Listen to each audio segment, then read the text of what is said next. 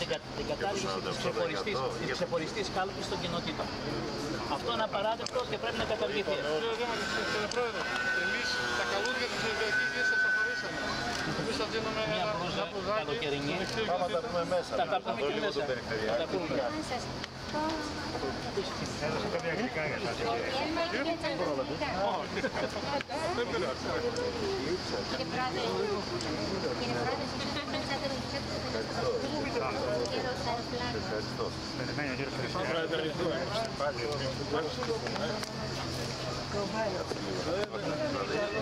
Έλα, Αλέξη. Α, πήξε, να βάλω κόσμο.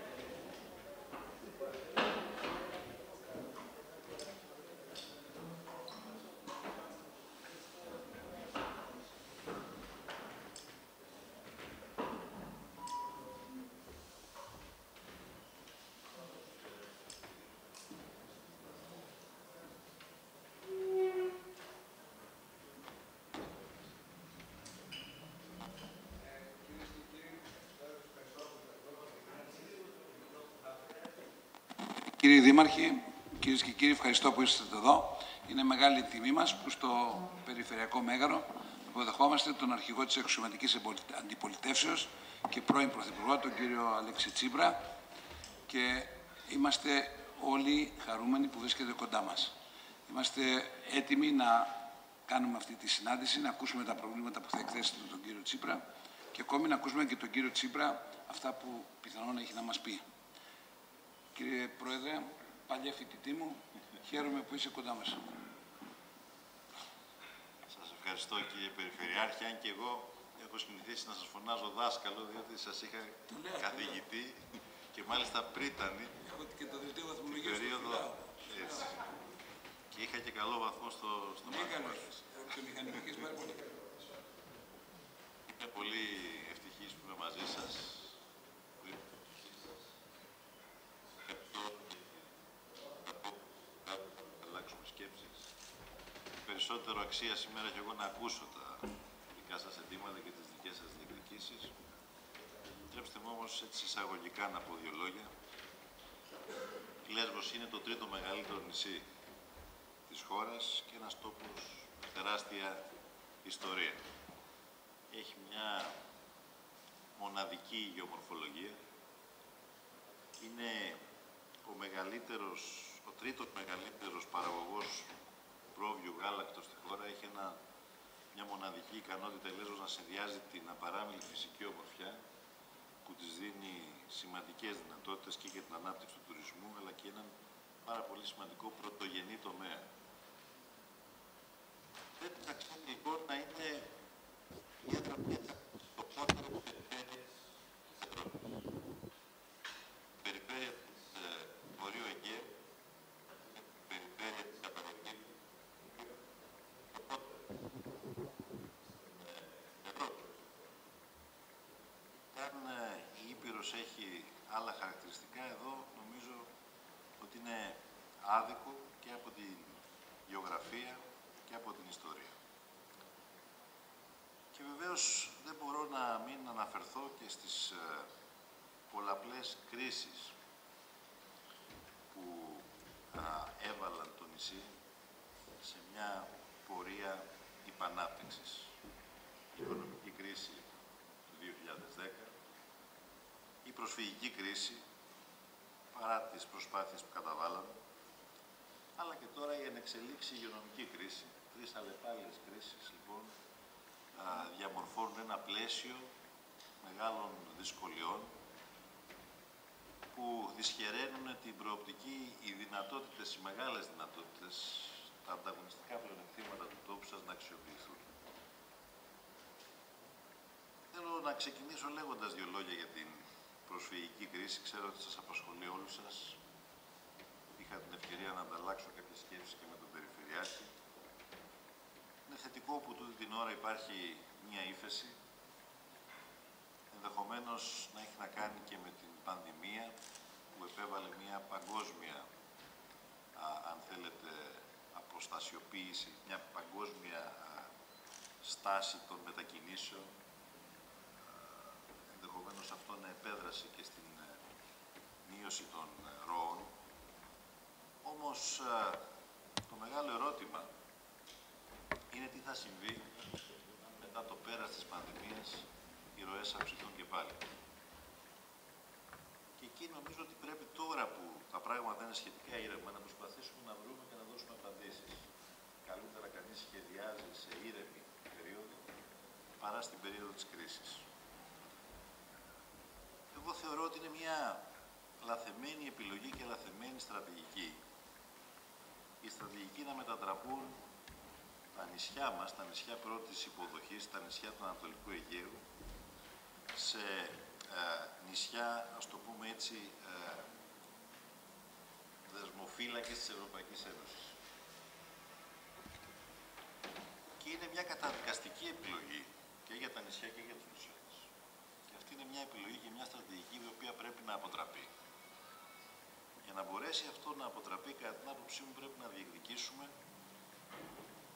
σε ευρωπαϊκό επίπεδο μια άλλη στάση από την πλευρά της Ευρωπαϊκής Ένωσης. Το λέω εγώ που βρέθηκα στην πολύ δύσκολη αυτή τη στιγμή ως Πρωθυπουργός να χειριστώ την κρίση και να βρεθώ στην μεγάλη δυσκολία της ε, αναζήτησης μιας λύσης αναφέρομαι στο δεύτερο στάδιο μετά το πρώτο εξάμεινο του 2015 όπου ήταν ανοιχτή η δίωδος η Βαλκανική και εκεί η Λέσβος και οι Λέσβοι ανέδειξαν ένα πάρα πολύ θετικό πρόσωπο όχι μόνο για την Ελλάδα αλλά και για την Ευρωπαϊκή Ένωση, το πρόσωπο της αλληλεγγύης, το πρόσωπο της ανθρωπιάς, περιθάλποντας κατατρεγμένους ανθρώπους.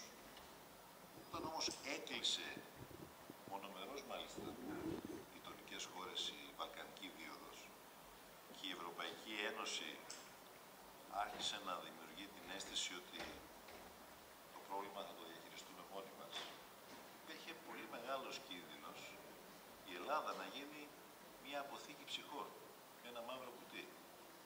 Και τα νησιά μας επίσης. Βρέθηκε μια λύση, ενδεχομένως όχι καλύτερη δυνατή, η Συμφωνία Ευρωπαϊκής Ένωσης Τουρκίας. Η λύση αυτή είχε και έχει σοβαρά προβλήματα. Στόχος λοιπόν κατά την άποψή μου είναι πάνω σε αυτή τη συμφωνία να γίνουν σημαντικές βελτιώσεις. Οι πρόσφυγες δεν έρχονται γιατί θέλουν να μείνουν στη Λέσβο, στη Χίο, στην Λέρο, στην Κο α, ή στη Σάμου. Ούτε καν γιατί θέλουν να περιφέρονται στο κέντρο της Αθήνας. Ο στόχος τους είναι να περάσουν στην Ευρωπαϊκή Ένωση και να πάνε στις πλουσιότερες χώρες της Ευρωπαϊκής Ένωσης. Άρα λοιπόν κατά την άποψή μου η στρατηγική που πρέπει να έχει η χώρα από τη στιγμή που υπάρχει μια ευρύτερη διεθνή συμφωνία που θέλει να καταργήσει τις ανεπίσημες ε, ε, ροές αλλά να αναδείξει τη δυνατότητα αναλλακτικών επίσημων ροών μετεγκαταστάσεων πρέπει να είναι η πίεση προς την Ευρωπαϊκή Ένωση να λάβει το μερίδιο της ευθύνης που της αναλογεί.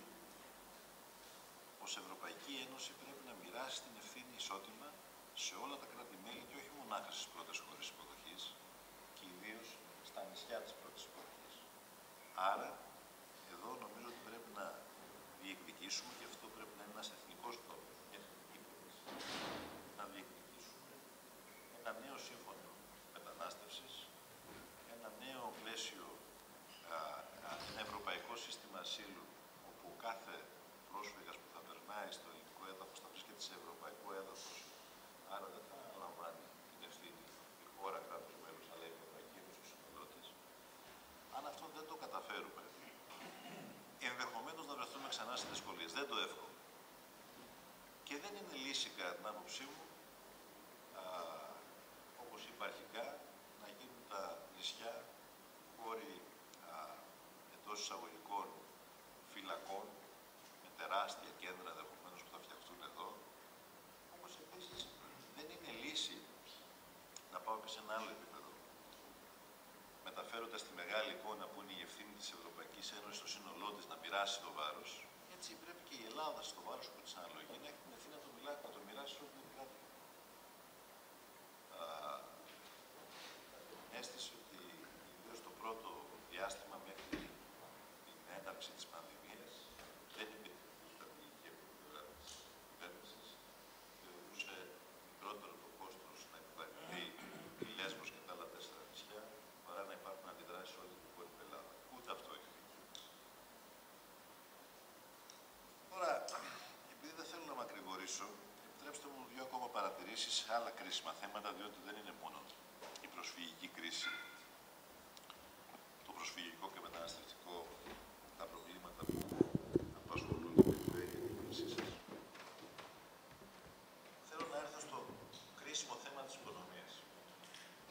Γιατί νομίζω ότι τούτη την ώρα που ευτυχώς ε, το προσφυγικό είναι σε ύφεση, όλοι αντιλαμβανόμαστε ότι το κρίσιμο θέμα και ιδίως για το νησί και για την περιφέρεια είναι το θέμα της οικονομίας και ε, θα μου επιτρέψετε να σας πω ότι αν επιβιώσαμε την προσφυγική κρίση πρέπει να δούμε πώς θα επιβιώσουμε τώρα από την πανδημική κρίση. Ευτυχώς η πανδημία δεν χτύπησε σκληρά το νησί και την περιφέρεια συνολικά σε ό,τι αφορά τα κρούσματα και τις χαμένες ζωές και τους θανάτους. Όμως την οικονομία την έχει χτυπήσει σκληρά. Πρέπει λοιπόν, κατά την άποψή μου, να περάσουμε σε μια φάση βιώσιμης ανάπτυξης και να αξιοποιήσουμε τα πολύ σημαντικά ανταγωνιστικά πλεονεκτήματα του τόπου. Επισήμανα στον Περιφερειάκη στην κατηδία συνάντηση που είχαμε ότι όσο ήμουν Πρωθυπουργός είχα μια καλή σχέση με την ε, α, προηγούμενη Περιφερειάρχη, ανεξαρτήτως α, την κυρία Καλογύρου, είναι η Περιφερειακή Σύμβουλος. Α, α, το λέω αυτό διότι για μένα δεν έχει τόσο μεγάλη αξία αν κανείς ε, ε, έχει τις ίδιες απόψεις ή εντάσσεται στον ίδιο κομματικό σχηματισμό. Αλλά όταν πονάς σε έναν τόπο και έχεις ευθύνη, πρέπει να προσφέρεις και να βρίσκεις τρόπους συνεργασίας. Είχαμε συνεργαστεί. Θυμάμαι λοιπόν, προφανώς παρά τις διαφωνίες που τις εκφράζαμε και δημόσια, ότι όταν τελείωσε η σύσκεψη στο, Συ- στο Συμβούλιο Κορυφής της Ευρωπαϊκής Ένωσης που αφορούσε την κατανομή των κονδυλίων, τότε δεν υπήρχε ταμείο ανάκαμψης. Τότε υπήρχε η συζήτηση για το πώς θα κατανεμηθούν τα κονδύλια που αφορούν την, ε, τους κοινοτικούς πόρους 21-27. Είχα δεσμευτεί και την είχα επικοινωνήσει μαζί της για το Βόρειο Αιγαίο γύρω στα 650-660 εκατομμύρια θυμάμαι καλά. Βλέπω ότι τώρα α, για την επόμενη προγραμματική περίοδο η σημερινή κυβέρνηση έχει ανακοινώσει λίγο πάνω από τα 300 εκατομμύρια για το Βόρειο Αιγαίο. Αυτή είναι μια πάρα πολύ σημαντική μείωση. Υποδιπλασιάστηκαν οι πόροι για τους οποίους είχε δεσμευτεί η προηγούμενη κυβέρνηση. Εγώ θεωρώ ότι οι κυβερνήσεις πρέπει να έχουν συνέχεια. Και το λέω αυτό διότι πρέπει να αποτελεί μια βάση μιας έντιμης διεκδίκησης από την πλευρά σας. Το Βόρειο Αιγαίο στερείται υποδομών. Είναι μια ευκαιρία να αξιοποιηθούν αυτοί οι πόροι που είχαμε δεσμεύσει και κυρίως να αξιοποιηθούν και πόροι από το Ταμείο Ανάκαμψης, 30 δισεκατομμύρια. Δεν μπορεί από αυτά τα χρήματα οι περιφέρειες και ιδίως οι πιο, α, ας το πω έτσι, α, αδικημένες περιφέρειες της χώρας να μην έχουν α, τη δυνατότητα να πάρουν πόρους για να προχωρήσουν έργα, έργα υποδομών, έργα κοινωνικής στήριξης, γιατί το Ταμείο είναι ανάκαμψης και ανθεκτικότητας, μην το ξεχνάμε. Άρα λοιπόν σας το θέτω αυτό ως ένα ζήτημα διεκδίκησης που θα αποφέρει σημαντικά ωφέλη στον τόπο την επόμενη πενταετία. Το τελευταίο, μάλλον δύο πράγματα ακόμα θέλω να πω. Είπα αρχικά σε σχέση με τον πρωτογενή σημερινή μου παρουσία στο νησί επέλεξα να συναντήσω αλληλείς, να συναντήσω α, τυροκόμους, να συναντήσω ελαιοπαραγωγούς. Δηλαδή, σχεδόν όλους τους κλάδους του πρωτογενή τομέα. Είπα αρχικά στην τοποθέτησή μου ότι είναι ένα πολύ σημαντικό ανταγωνιστικό πλεονέκτημα του τόπου σας. Ε, είναι αξιέπαινη η δουλειά που γίνεται. Η, πήγα στον κόλπο της Καλονής που είναι ένα θαύμα, ένα φυσικό θαύμα. Α, η δουλειά που γίνεται στην ε, ελαιοπαραγωγή επίσης είναι πάρα πολύ σημαντική. Είναι εξαιρετική σημασία η ανάγκη, η, η τυποποίηση του προϊόντος. Είναι εξαιρετική σημασία και η ανάγκη η στήριξη της ε, συνεταιριστικής παραγωγής. Έχετε βεβαίως την, ε, το προνόμιο να έχετε τα θαυμάσια αυτά τυριά που έχουν προστασία την ΠΟΠ, τη λεγόμενη, η φέτα, το λαδοτήρι, το κασέρι, αυτά είναι πάρα πολύ σημαντικά στοιχεία για τον τόπο σας. Η στήριξη όμως του πρωτογενούς τομέα της παραγωγής θα υπάρξει αν δούμε ένα συντονισμένο σχέδιο που θα προστατεύσει τους παραγωγούς από τις νοθείες, από τις παράνομες ελληνοποιήσεις, που θα δημιουργήσει συνθήκες ώστε να υπάρξει ρευστότητα και στήριξη στον παραγωγό, επιδοτήσεις για να μπορέσουν να εξυγχρονίσουν την παραγωγή τους και ταυτόχρονα από την ε, προσπάθεια να ρυθμιστούν λίγο οι τιμές στην αγορά. Έχει ακριβήνει πάρα πολύ το κόστος παραγωγής, ιδίως οι ζωοτροφές είναι στα ύψη, οι τιμές των ζωοτροφών, ενώ οι τιμές τόσο στο λάδι όσο όμως και στο γάλα είναι πάρα πολύ χαμηλές. Το δεύτερο που θέλω να πω είναι ότι η Λέσβος έχει επίσης μια πολύ σημαντική δυνατότητα και όλα τα νησιά του Βορείου Αιγαίου ανάδειξη του τουριστικού προϊόντος. Γνωρίζω πάρα πολύ καλά ότι υπήρξε μια σημαντική μείωση και ύφεση στην τουριστική ζήτηση πριν έρθει η πανδημία, εξαιτίας του προσφυγικού. Και ε, τώρα που υπάρχει η ύφεση του προσφυγικού έρχεται η πανδημία, άρα το τουριστικό προϊόν έχει βληθεί, θα έλεγε κανείς, έχει υποστεί μεγάλη ζημιά. Πρέπει να βρούμε από κοινού τους τρόπους που θα στηρίξουμε τον τουρισμό στο Βόρειο Αιγαίο, ιδίως δε στη Λέσβο θα έλεγα, ότι θα πρέπει να αναζητήσουμε και τη δυνατότητα ενός εναλλακτικού τουρισμού. Πράγμα το οποίο μπορεί να αναδείξει τις πολύ σημαντικές φυσικές ιδιαιτερότητες του τόπου. Θα ξέρετε ότι εμείς είχαμε καταθέσει μία πρόταση ενίσχυσης και του εσωτερικού τουρισμού, όχι μέσα από ένα πρόγραμμα κοινωνικού τουρισμού, έτσι όπως το έχουμε δει το τελευταίο διάστημα, αλλά με μεγάλη χρηματοδότηση από το δημόσιο, από το κράτος, την περίοδο δηλαδή του κορονοϊού, προκειμένου να μπορεί ο μέσος Έλληνας πολίτης να επιλέξει κάποια νησιά για διακοπές για να ενισχύσει την εσωτερική ζήτηση. Γιατί λέω αυτό κατά την άποψή μου θα ήταν πάρα πολύ σημαντικό αν μπορούσε να προωθηθεί. Σε κάθε περίπτωση πιστεύω ότι έχει πολύ μέλλον ο τουρισμός και ιδίως ο εναλλακτικός τουρισμός στο Βόρειο Αιγαίο και ιδιαίτερα στη Λέσβο. Όμως για να μπορέσουμε να στηρίξουμε τον τουρισμό πρέπει να δώσουμε έμφαση και στις υποδομές αλλά και στις ακτοπλοϊκές Το γεγονός ότι δεν υπάρχει ακτοπλοϊκή σύνδεση με τη Θεσσαλονίκη είναι ένα μεγάλο πρόβλημα το οποίο πρέπει να το αντιμετωπίσουμε. Όπως επίσης θεωρώ ότι α, σέβομαι βεβαίως τα περιοριστικά μέτρα τα οποία όλοι πρέπει να τηρήσουμε αλλά δεν είναι δυνατόν να έχεις τη δυνατότητα να δέχεσαι επισκέπτες με υγειονομικά πρωτόκολλα, αυστηρά υγειονομικά πρωτόκολλα από όλα τα άλλα μέρη του κόσμου, αλλά να μην μπορείς να έχεις διασύνδεση για το νησί της Λέσβου, για παράδειγμα, με τη γειτονική Τουρκία, με μέτρα, εγώ λέω, αυστηρά πρωτόκολλα. Δεν είναι εγκεκριμένο το εμβόλιο που γίνεται εκεί, να γίνεται για, με τεστ επιτόπου rapid test είσοδος ή με εμβόλιο Pfizer, γιατί και εκεί εμβολιάζουν με Pfizer, αλλά είναι μια πηγή σημαντική για τον τουρισμό της Λέσβου η τουριστική κίνηση από την γειτονική χώρα.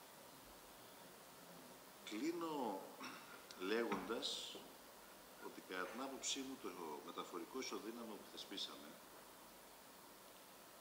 όχι ως ε, αντιστάθμιο για για ορθώς παρέμεινε μειωμένο και παραμένει και σήμερα παρά τις πιέσεις που ήταν απαράδεκτες που είχαμε τότε από την Ευρωπαϊκή Ένωση παραμένει και σήμερα α, μειωμένο και πρέπει να παραμείνει ανεξαρτήτως της προσφυγικής κρίσης για τα νησιά του Ανατολικού Αιγαίου. Τα νησιά αυτά έχουν μια ιδιαιτερότητα. Αυτή η ιδιαιτερότητα έχει να κάνει με το γεγονός ότι βρίσκονται στην πιο ακριτική και δύσκολη περιοχή της πατρίδας μας, ταυτόχρονα την ιδιαιτερότητα της νησιωτικότητας, την οποία βεβαίως την έχουν όλα τα νησιά της χώρας και γι' αυτό θεσπίσαμε το μεταφορικό ισοδύναμο. Πιστεύω ότι ήταν μια σημαντική μεταρρύθμιση, η οποία πρέπει να ενισχυθεί. Πρέπει να πιστέψει η κυβέρνηση σε αυτή τη μεταρρύθμιση. Και πρέπει να πιστέψετε κι εσείς, το είδατε πολλοί από εσάς ότι είναι σημαντικό σε ό,τι αφορά τις μετακινήσεις των πολιτών και σε ό,τι αφορά τις ε, μετακινήσεις των εμπορευμάτων για τις επιχειρήσεις σας. Θα πρέπει κατά την άποψή μου να επεκταθεί και στα υγρά καύσιμα. Διαπίστωσα σήμερα ότι η τιμή της βενζίνης εδώ είναι στο Θεό, είναι 1,7 ευρώ. Αυτό είναι μια πολύ μεγάλη αδικία. Θα μου πείτε το τελευταίο διάστημα ακόμα και στην ενδοχώρα η τιμή της βενζίνης έχει πάρει τον ανήφορο, αλλά όσο θα παίρνεις στην ενδοχώρα εδώ θα ανεβαίνει ακόμα πιο ψηλά. Άρα λοιπόν το μεταφορικό ισοδύναμο είναι μία σοβαρή προσπάθεια να αμβληθεί αυτή η εγγενής αδικία για τους νησιώτες και δι για τις ε, νησιώτες των αντιτικών περιοχών. Άρα λοιπόν η περιοχή σας είναι μια περιοχή ευλογημένη σε φυσικό κάλους, με πολύ σημαντικές δυνατότητες, αλλά δυστυχώς και με αδυναμίες που έχουν να κάνουν με, την, ε, με τις πολιτικές που έχουν ακολουθηθεί στο θέμα της ανάπτυξης. Χρειαζόμαστε λοιπόν μια βιώσιμη ανάπτυξη, χρειαζόμαστε ένα μακρόπνο στρατηγικό σχεδιασμό για τη Λέσβο και το Βόρειο Αιγαίο, όχι μπαλώματα χωρίς έμπνευση και συνέχεια, αλλά έναν ε, μακρόπνο στρατηγικό σχεδιασμό. Δέσμευσή μας, δάσκαλε και περιφερειάρχη και αγαπητοί αιρετοί και φορείς που είσαστε σήμερα εδώ, εκπρόσωποι φορέων, Α, δέσμευσή μας είναι ότι θα συμβάλλουμε από όποιο πόστο, αλλά με όλες μας τις δυνάμεις, σε μια κοινή προσπάθεια αλλαγής πορείας για τον τόπο σας, που είναι ένας σημαντικός τόπος. Προϋποθέτει όμως, επαναλαμβάνω, και αλλαγή στρατηγικής και όραμα. Ελπίζω ότι α, τουλάχιστον σε ό,τι αφορά τη βούληση θα είναι κοινή όλων μας να συμβάλλουμε στο να πάει το πιο μπροστά. Είμαι στη διάθεση να σας ακούσω όσο χρόνο και χρειαστεί. Το... Η πτήση μου είναι αργά το βράδυ. Ελπίζω να έχω τη δυνατότητα στο τέλος να κάνω κάποιες παρατηρήσεις αφού ακούσω όλους τους ομιλητές. Καλώς ήρθατε στο Δήμο Μητυλίνης και στο νησί της Λέσβου. Είπατε τη μαγική λέξη ότι ο καθένας έχει την πολιτική του άποψη και τη ιδεολογία του. Είναι γεγονός. Όμως εδώ σε αυτό το τόπο, στο Δίο Μητυλίνης, όλοι αγαπάμε εξίσου το νησί μας, άσχετα με το τι πιστεύει κανείς ιδεολογικά. Και σε αυτή την κατεύθυνση έχουμε ενώσει φωνές και δυνάμεις για να πιέσουμε σε κάθε κατεύθυνση για την επίλυση πολλών και δύσκολων θυμάτων, όπως και εσείς τονίσατε, όπως είναι αυτό του μεταναστευτικού ζητήματος, προσφυγικού, αλλά και της πανδημίας, που δυστυχώς και τα δύο επέφεραν πολλά δεινά σε αυτόν τον τόπο.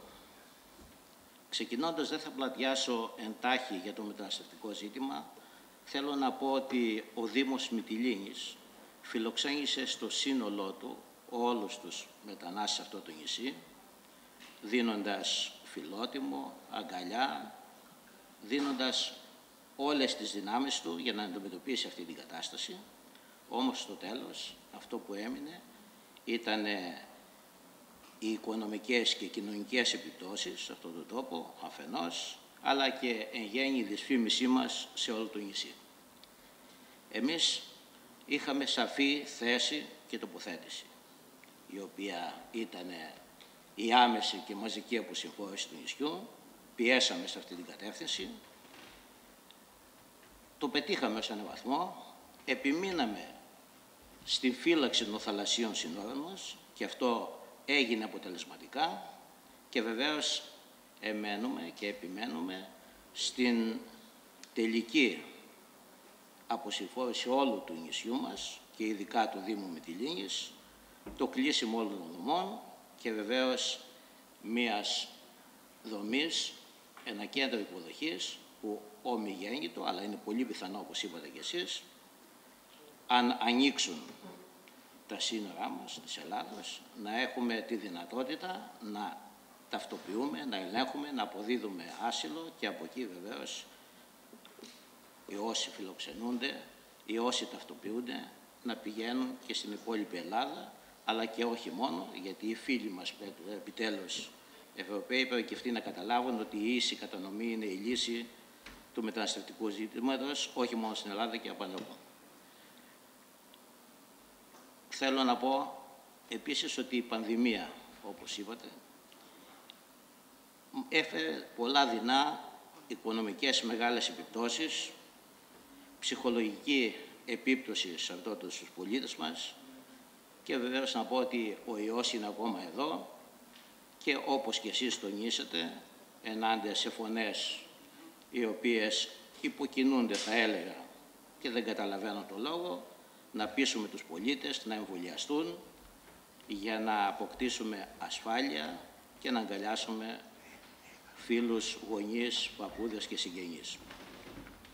Είναι πολύ θετικό ότι είστε εδώ, συμβάλλετε με την επίσκεψή σας και βεβαίως απευθυνόμαστε και σε εσάς, όπως και σε όσους επισκέπτονται αυτόν τον τόπο, να δώσουν βοήθεια οικονομική, γιατί οι επιπτώσεις και η νησιωτικότητα η, η οποία επαναλαμβάνεται από την Αθήνα συνεχώς δεν έχει τύχει καλής εφαρμογής και αντιμετώπισης σε αυτό εδώ τον τόπο. Επομένως, θα απευθυνόμαστε και σε εσάς και σε όλους όσους ζουν σε αυτό τον τόπο, άσχετα με το τι πιστεύει ένας ιδεολογικά και θα ενώνουμε, όπως είπα, τις φωνές μας για να ανακάμψει αυτός ο τόπος, αλλά και να δώσουμε σε όλο τον κόσμο το μήνυμα ότι αυτός ο τόπος, αυτό το νησί της Αφούς, του Ελίτη, των ταγών της Λεσβαϊκής Άνοιξης, την χάνει άλλης αντιμετώπισης και άλλης τύχης στο μέλλον. Να είστε καλά, καλώς ήρθατε, καλή διαμονή για το υπόλοιπο που θα μείνετε στο νησί μας και ευελπιστούμε να... και βεβαίως θα είμαστε εδώ για να επικοινωνούμε και να πιέζουμε, όπως σας είπα, για την καλυτέρωση των συνθηκών στον τόπο μας. Να είστε καλά. Ευχαριστούμε, Δημαρχέ. Ο Δήμαρχος της Δικής Λέσβου, στα ξένα μέρος. Πρόεδρε, να σας καλωσορίσω και πάλι.